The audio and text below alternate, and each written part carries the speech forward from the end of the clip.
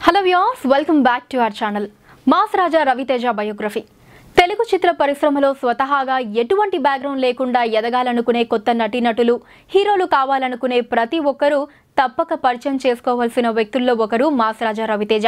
Megastar Chiranjeevi తర్వాత ఆ స్థాయిలో కష్టపడి అంచెలంచెలుగా ఎదిగిన హీరోగా రవితేజ పేరు ఎప్పటికీ నిలిచిపోతుంది.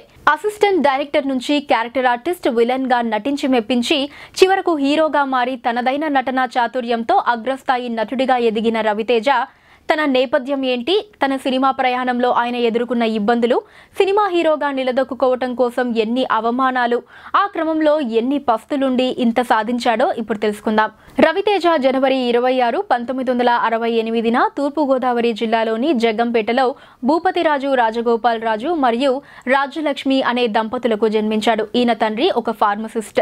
తల్లి రాజ్యలక్ష్మి గృహిణి. రవితేజ అసలు పేరు భూపతిరాజు రవిశంకర్ రాజు. వీరి తల్లిదండ్రులకు ముగ్గురు సంతానం కాగా అందులో రవితేజ పెద్దవాడు. ఈయనకు ఇద్దరు తమ్ముళ్ళు రఘు భరత్లు కూడా సినిమా నటులే కావటం విశేషం. విజయవాడ సిద్ధార్థ డిగ్రీ కాలేజ్లో బీఏ కోర్సులో డిగ్రీ పూర్తి చేశాడు. ఈ సమయంలోనే రవితేజకి సినిమాలపై ఆసక్తి కలగటం మొదలైంది. డిగ్రీ పూర్తి చేసిన వెంటనే నటనపై మోజుతో చెన్నై ట్రైన్ ఎక్కి చిత్ర పరిశ్రమలో ప్రయత్నాలు మొదలుపెట్టాడు.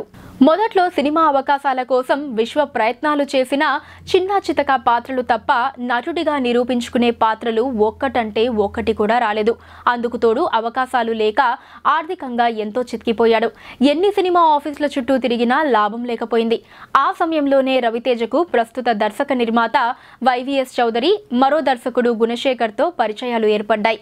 ఇదే ఆ తర్వాత వారిని రూమ్మేట్స్ని చేసింది. అలా ప్రయత్నించగా పంతొమ్మిది వందల తొంభై ఒకటి సంవత్సరంలో లేడీ అమితాబ్గా పేరు తెచ్చుకున్న విజయశాంతి సోలో హీరోయిన్గా వచ్చిన లేడీ ఓరియంటెడ్ ఫిలిం కర్తవ్యం సినిమాలో ఒక చిన్న పాత్రలో తెలుగు చిత్రసీమలో అడుగుపెట్టాడు. చిన్న చితక పాత్రల్లో మెరిసిన ఆయనకు అంతగా పేరు రాలేదు. ఇక అడపాదడపా పాత్రల ద్వారా వచ్చే సంపాదన రూమ్ ఖర్చులకే సరిపోక నానా అవస్థలు పడేవాడు. ఇక ఆ సమయంలోనే నటుడు ఉత్తేజ్ సహాయంతో దర్శకుడు కృష్ణవంశీ వద్ద అసిస్టెంట్ డైరెక్టర్గా సెట్ అయ్యాడు.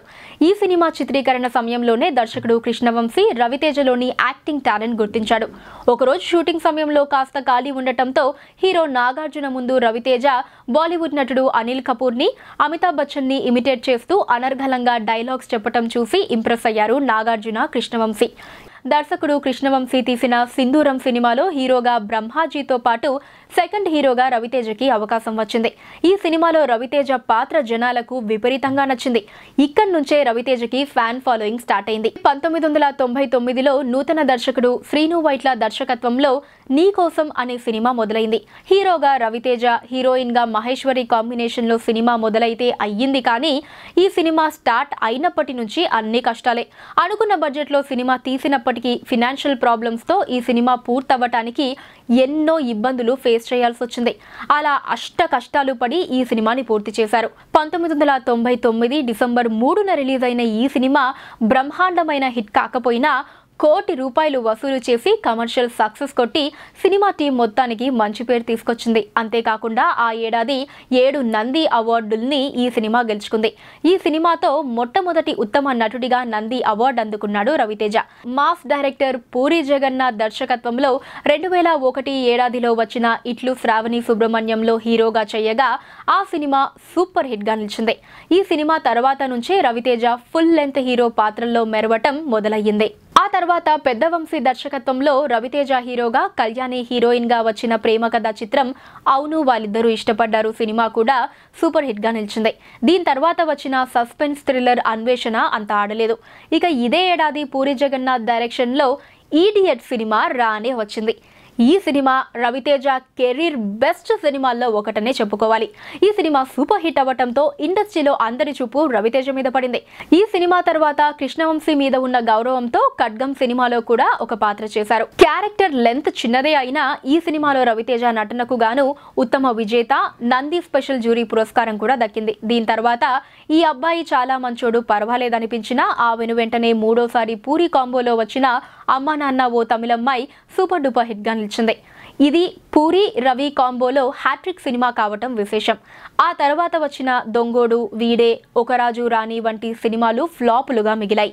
వీటి తర్వాత శ్రీను వైట్ల కాంబోలో వచ్చిన వెంకీ సినిమా రవితేజలోని కామెడీ హీరోని జనాలకు మరింత కనెక్ట్ అయ్యేలా చేసింది.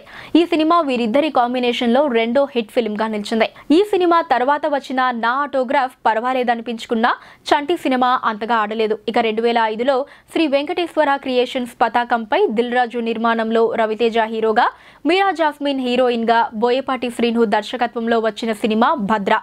మే పన్నెండు రెండు వేల ఐదున విడుదలై బ్లాక్ బస్టర్ హిట్ని సొంతం చేసుకుంది. ఇది బోయపాటి శ్రీను మొదటి సినిమా. ఆ తర్వాత హరీష్ శంకర్తో చేసిన షాక్ మూవీ భారీ షాక్ ఇచ్చింది. ఈ సినిమా తర్వాత ఎస్ఎస్ రాజమౌళి డైరెక్షన్లో రెండు వేల ఆరులో వచ్చిన Vikramarkudu cinema Ravi Teja career best సినిమాగా నిలిచింది. ఇక అప్పటి వరకు రవితేజ సినిమాల కలెక్షన్స్ అన్నీ ఈ సినిమాతో బ్రేక్ అయ్యాయనే చెప్పాలి. ఈ సినిమా తర్వాత వచ్చిన ఖతర్నాక్ ఫ్లాప్గా ఆ తర్వాత శ్రీను వైట్ల కాంబోలో వచ్చిన దుబాయ్ శ్రీను సూపర్ హిట్గా నిలిచింది. దీని తర్వాత రెండు వేల ఎనిమిదిలో వచ్చిన కృష్ణ హిట్ కాగా బలాదూర్ యావరేజ్గా నేనింతే కెరీర్ బెస్ట్ పర్ఫార్మెన్స్గా నిలిచి నంది అవార్డుని అందించింది.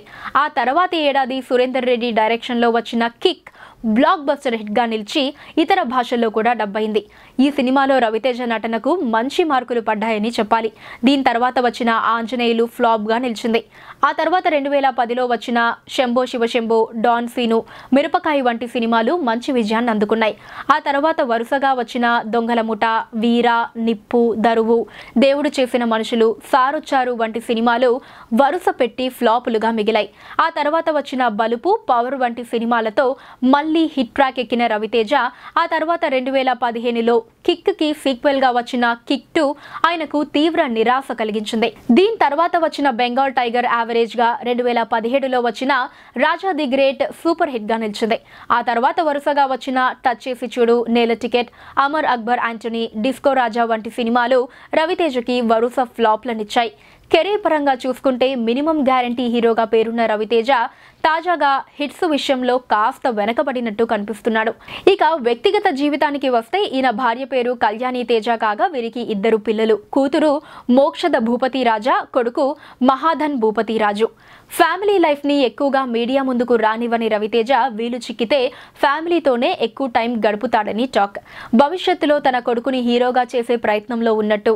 అందుకోసం ఇప్పటి నుంచే పూర్తి శిక్షణ ఇస్తున్నట్టు ఫిలిం నగర్లో టాక్ నడుస్తోంది. ఇప్పటికే రవితేజ తన ఇద్దరి తమ్ముళ్ళను నటులుగా చేశారు. కెరీర్ పరంగా వారికి మంచి పేరే వచ్చింది కానీ ఇటీవలే తన పెద్ద తమ్ముడు భరత్ ఔటర్ రింగ్ రోడ్ పై యాక్సిడెంట్లో మరణించారు.